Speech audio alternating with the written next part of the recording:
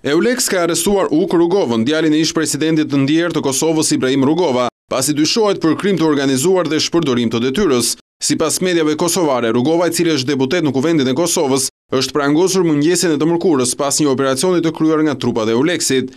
Bashkë me të në pranga kanë rënë edhe disa persona të tjerë, emrat e të cilëve ende nuk janë bërë të ditur. Edhe avokati i Rugovës e ka konfirmuar arrestimin, dhe sipas tij kërkesa e prokurorit është që klienti të ndalohet për dyzet e tetë orë. Operacioni i kryer mëngjesin e së mërkurës është pjesë e një hetimi të përbashkët i Policisë së Kosovës dhe Eulexit.